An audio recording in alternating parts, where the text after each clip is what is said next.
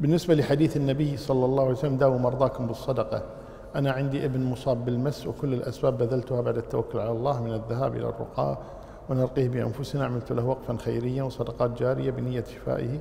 ولكن لا جدوى يبقى الحال على ما هو عليه وصار لي وصار له عشر سنوات على حاله. والحمد لله على علاقتنا أنا وأبوه بالله قوية.